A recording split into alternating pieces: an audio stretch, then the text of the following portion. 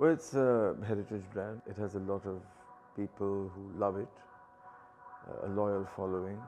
Um, and it's always, I think, striven to provide specific kind of quality, not just quality, not just luxury, but uh, I think the, the usefulness uh, of the of the watches is something is at the core of what Favre-Leuba stands for. So it's not just pretty, it's not just beautiful, not just one thing, but it's it's very specific to particular needs, which is something that I like. The one that I'm wearing right now, the Raider Harpoon, and I think because I, I wore it recently on this dive in Iceland that you know about, and that's actually where I really experienced uh, a watch, any watch, in the environment that it was built for, and that is fantastic.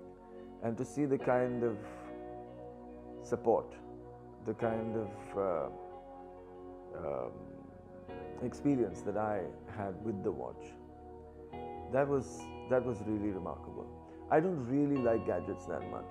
I'm not really a kind of person who looks uh, at technology or something that could save me or uh, even better my life. I'm, I'm more of a, a person who believes in my own faculties, in my own abilities, and I don't like to take support. But where it is necessary and where it can enhance whatever you're doing, I mean, and if it comes together, you know, it's like a, it's an integration. It's like all your senses, it becomes one of your senses.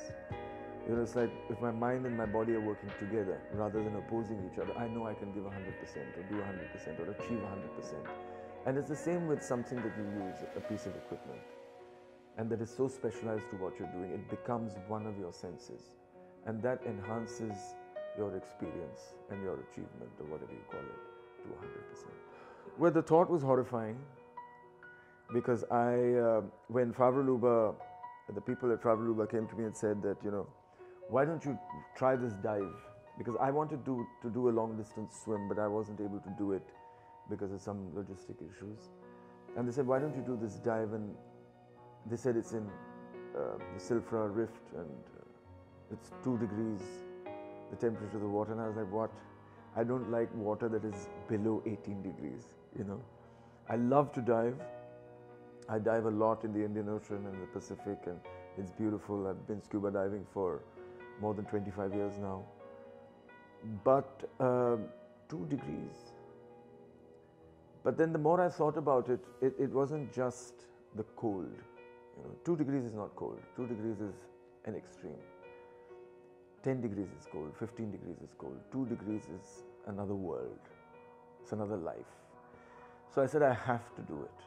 I have to experience this. And it was scary. Thinking about something that you think is difficult is always scary. But once you're there, um, and there was a photographer with me because we wanted to take pictures, and uh, he was equally nervous about it. He hadn't he hadn't been diving in that in those uh, circumstances before.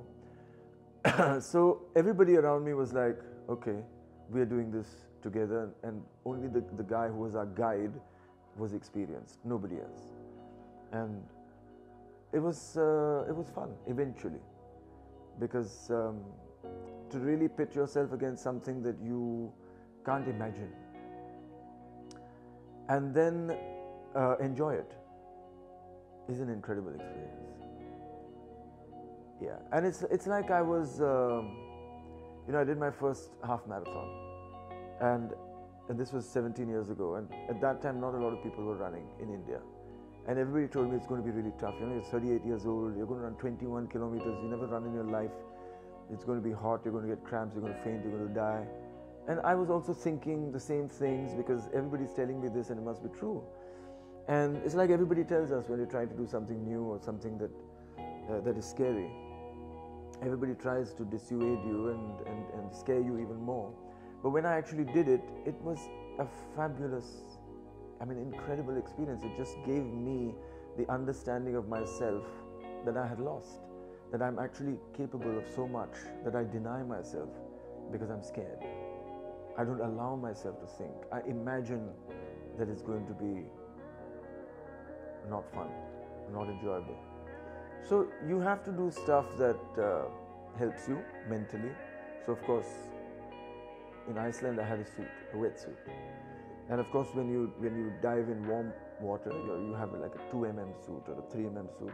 This was a 7 mm suit, 7 millimeters of neoprene, and that is tough to even wear. Like even to wear a normal wetsuit, you know, you have to struggle into it if it fits well. And this was a 7 mm wetsuit. I could not get it on on my own.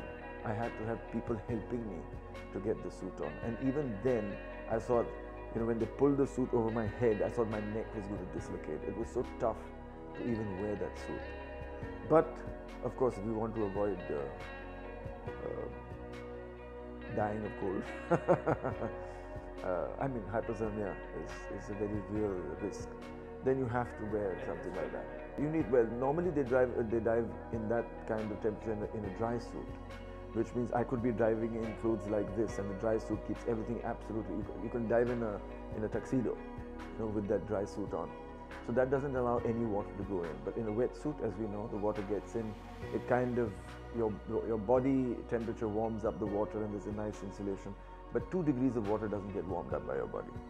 So eventually, your body is just losing heat. Your feet are getting colder. Your hand, arms are getting colder. Your your your, your body is just getting uh, into a space where you don't want it to be. And my face, my face was so cold because that was the only part of me that wasn't inside the suit. I couldn't even speak to the photographer. It was blah, blah, blah, blah. you know we were both other because you cannot feel anything. Your entire face is numb. So it was it was different. So we dive. There were two dives that we did on one day, which was the kind of uh, the rehearsal dive. We said, let's do one, let's see how it goes, and so we can plan the perfect shots that we want for the next day. So the first day we, uh, I, I was in the water for about I think 40 minutes, and it was it was. I don't think we got we got one picture actually on the first day, which was a beautiful photograph. And uh, that kind of prepared me for the second day. The second day then wasn't tough at all you know, your mind really plays so many games with you that once, because it's scared, your mind is naturally cautious. And once it's, it's, it's relaxed and it's comfortable, then everything becomes really, really easy. For any kind of effort that you want to make, any work you want to do, anything that you want to achieve, if your mind is relaxed and comfortable, you will do better. So the second day was actually much better. I stayed in the water for about an hour and a half, which the guide said, you know, is like unbelievable. You've just been in the water twice and you stayed an hour and a half. I mean, he said something which I can't repeat here because it was, yeah, but it was a compliment. so I was, I was quite happy about that. And we got some really amazing pictures. And apart from the pictures, the experience for me was beyond, beyond words.